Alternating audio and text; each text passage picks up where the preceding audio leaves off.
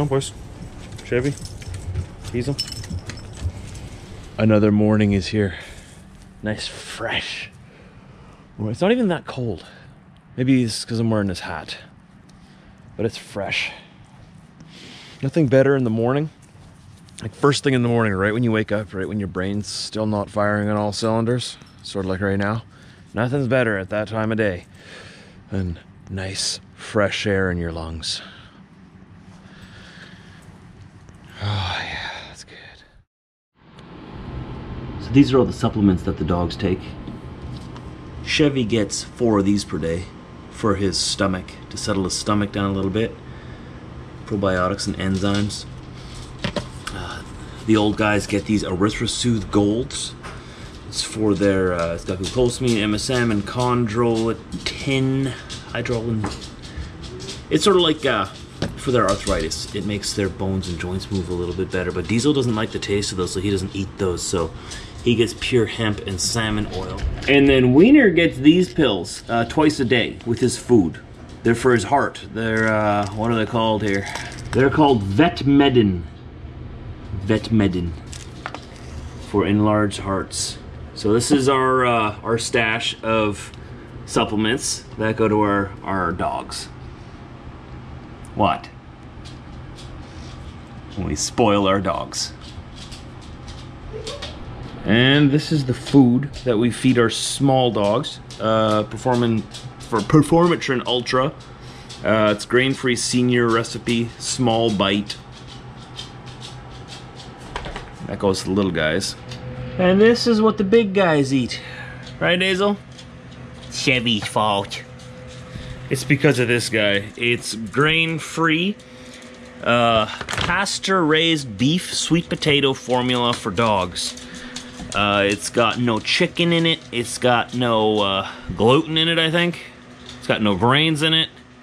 It's practically got nothing but just straight nutrients, I guess. For it's actually not the it's not the most expensive dog food, but it's also not the cheapest by any means. Uh, it's made in the USA, and it's the only food that we've been able to find that won't upset this guy's stomach for days. So we're sticking with it. Got a lot of allergies. Took a long time to figure those out. All right, you guys hungry? You hungry? You hungry? No? No one's hungry? You guys hungry? No one's hungry? Are you hungry? I'm hungry. Diesel's food gets soaked. Just a little bit, not too much. Just a little bit. So it's just a little bit soupy. A little bit more. Not too much. Gets his little heart pill. And his is soupy too. Diesel gets his pure hemp and salmon oil. One squirt in the morning, I think. Diesel, you're such a stoner. One squirt in the morning, right? Uh, I usually give two per, but it doesn't really oh, matter. Yeah. Oh, it's the good stuff. It's good stuff, okay? Chevy gets just a regular salmon oil. Get a little bit too, a little bit too. This one's almost empty. Oh my. There we go. And these we give to them after. All right. Who's hungry? Who's hungry? Hey. Waiter, you want it? You gonna dance? Dance a little bit more. Keep dancing. Dance. Dance. Go in a circle. You want it? You want it? Go in a circle. There you go. Oh, oh, double. Wow. Here you go, bud. There's your soup. Morning soups.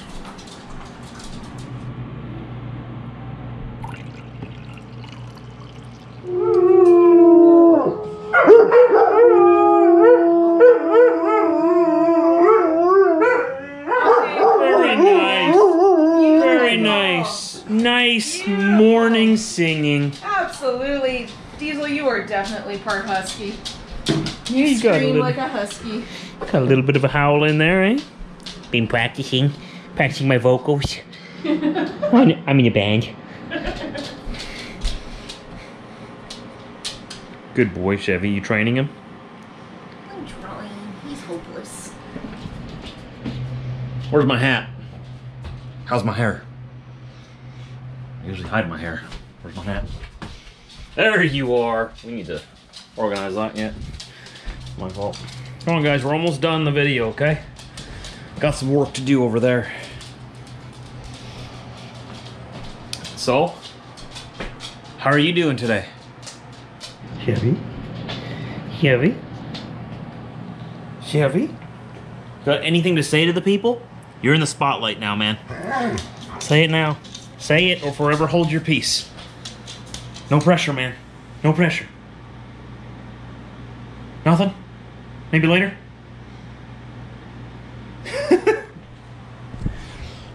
Brit just uh, went to work. It's her last day before the lockdown, and then she has four weeks off of work. Uh, they're paying her for the rest of this week for her scheduled shifts and scheduled hours. So that's really nice that they her company decided to do that for her. That that helps out a lot. But other than that, I guess we're just sitting twiddling thumbs for a few weeks. I'm debating whether or not I should uh, stay here with her uh, because she's all by herself here, and uh, I think the silence can get pretty deafening after a while. I don't know. And uh, if we're in this critical of a lockdown, I don't know if I really want to uh, head out there. I mean, like I said, I'm not too worried about myself. I'm a, I'm pretty much isolated when I'm at work. It's just I do worry about bringing stuff home. You know, going out there because the most I really do is I go get my coffees, right? And I go into receivers, but that's usually pretty safe. You know, you have the mask on, I sanitize my hands all the time. Whenever I get back in the truck, as soon as I, before I even touch the, the steering wheel, if I can, just sanitize that and then uh, disinfect my truck. So I, I do my absolute best that when I'm traveling out there, I'm not, you know, being irresponsible, picking something up, bringing it home to my family, and then, you know, you guys know how that goes. Uh, probably a lot of you know personally how that goes. You guys probably know pers- uh, someone personally by now who's gotten sick.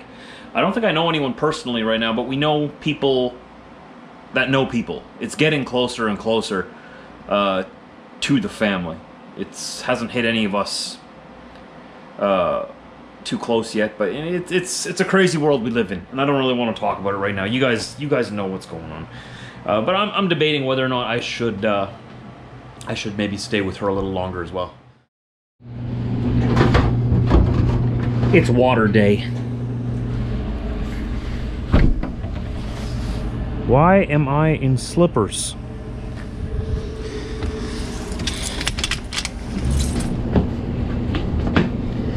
Gonna walk into the store with those.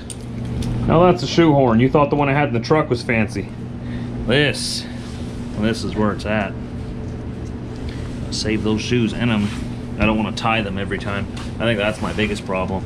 I don't want to tie my shoes every single time, so I just uh, slip them on in like that.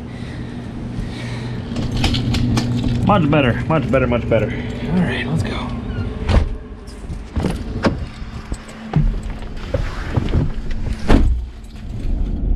We're running out of water. We have tap water, but we spoil ourselves with bottled water anyway. You never know what they put in the water. I'm just kidding. I'm just kidding. No, we just like to have bottled water for ourselves, and uh, we always got to go and refill them every now and then. And figure we may as well now, because with these lockdowns coming in tomorrow, uh, when you're watching this, they're already in effect. I don't know what's all going to be open, what we're going to be able to get, so do what we can, I guess. You know what's ridiculous though is people panic buying. The lines at Costco, I saw some pictures and videos of the lineups at Costco and stuff yesterday and Walmart. People are lined up around the block. Like if people realize these stores will still be open in the lockdown, right? They'll, they'll still be open. You can still go shopping. Have we learned nothing? so everybody's panic buying. Everything's flying off the shelves. There was still toilet paper yesterday when we were in the in Superstore. But I guarantee that's going to be gone. I bet you they have pallets and truckloads just waiting in the back. Just waiting for everyone to start buying the toilet paper. Nice. Man, why would you void all your warranty though on a brand new truck lifting it up like that? No warranty. Thanks. Oh, and the cops are here. Uh-oh. Got the Royal Canadian Mounties. What's going on there? Searching that van. Yeah, I don't know what's going on there. But they got all kinds of travel bags. I bet you they broke the travel restrictions or something. I don't know. I, I can only guess. They got in trouble for something. They're all out of water. Getting an order in tomorrow, so I guess we're coming out to pick up water tomorrow. Okay. All right. I don't know what they're doing there. That officer is still dealing with them. They don't look very happy. And I, I realize this mount has been rattling a little bit. Uh, it, I've got an older or a, a newer mount with an older clip that goes into it, and they don't quite fit together perfectly. So uh, it rattles. My apologies. I'll try to remember uh, to use my other mount here. But when I'm sitting still, I don't think it, it rattles. I think we're okay there. So, guess we'll go back home. Busy place right now, though. Yikes. Oh, you got another Mountie coming over here now. You got two.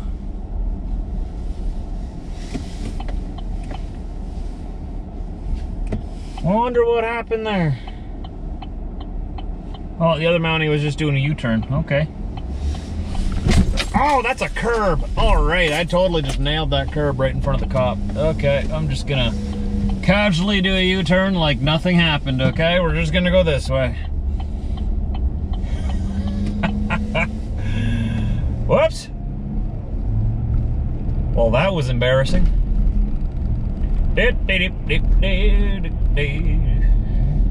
Somebody's practicing their parallel parking. Should we quickly go show them how it's done?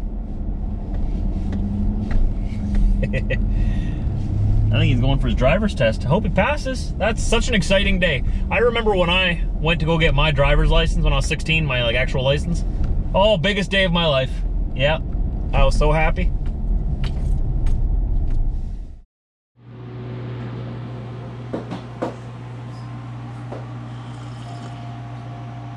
Oh, it's never too late for a coffee.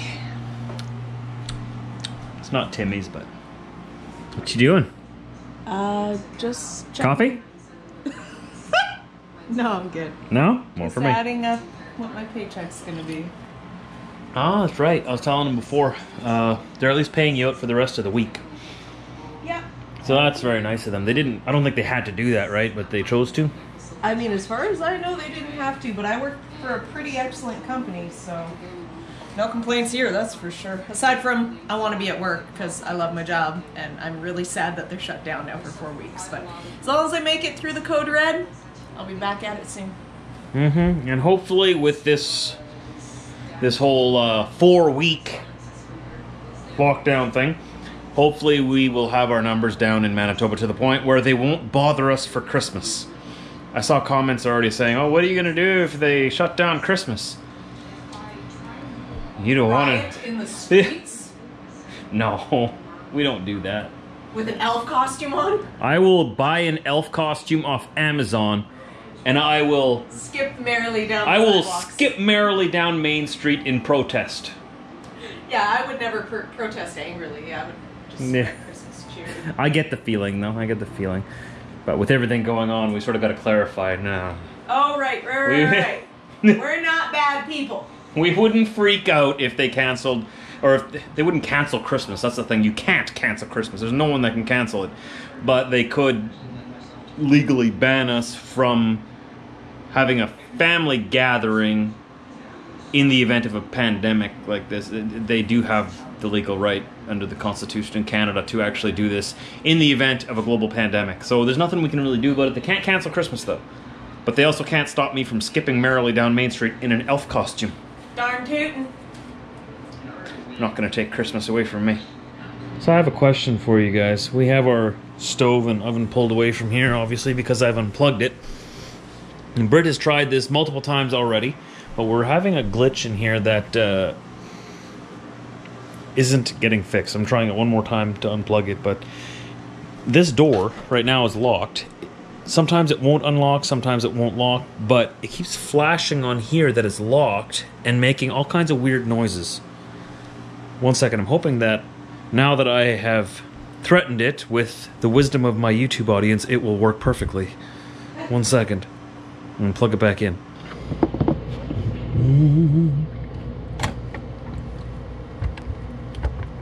Oh, we need to really fix this. I don't know why that isn't secured properly. I'm gonna fix that right away. Obviously, we didn't see that when we bought the house because it was behind the stove. All right, okay, still doing it.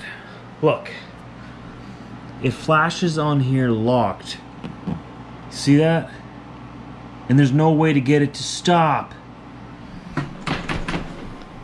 Locked me out here again, so I'm gonna push this back into place. Makes all kinds of weird noises and clicking noises. How do we make it stop? Do any of you know what we should do? I fixed it once already, just by jiggling, once this thing does open, jiggling the actual lever in there. I'm guessing it might, oh, oh, I'm guessing it might be jammed. See, I just jiggled this last time, and suddenly it worked just fine. But now, I do that and it's not doing nothing.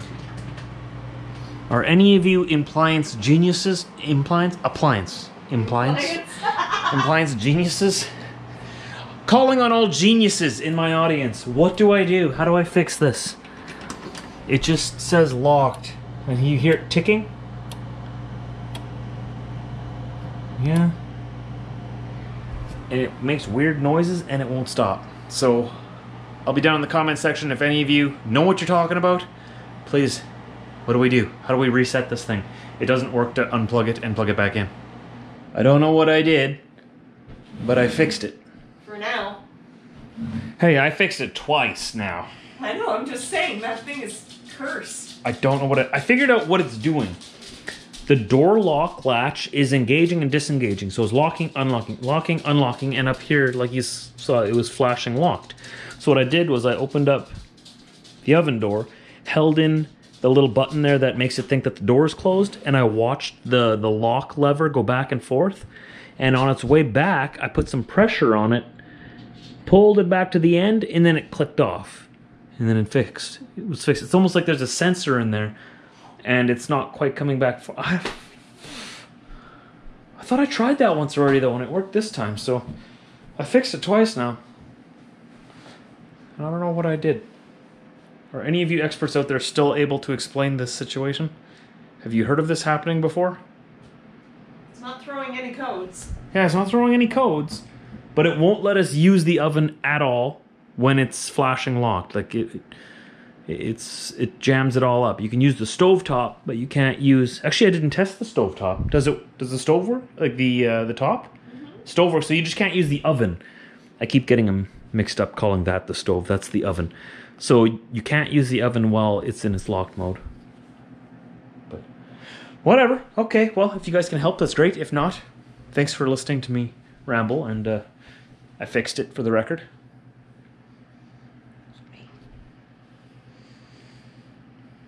Say it. You fixed it for now. Thanks, hon. Fix it, man. It's not you I don't trust. It's it's the oven. Yeah. Yep. Well, I should probably end this video here now, though. Uh, we got it figured out. So tomorrow we're going to be. Uh, what's the plan for tomorrow? It's your first. It's first day of actual lockdown tomorrow.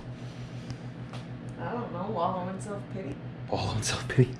Not really sure. Maybe we'll take the boys for a walk. We're allowed to go for walks oh, still. heck yeah.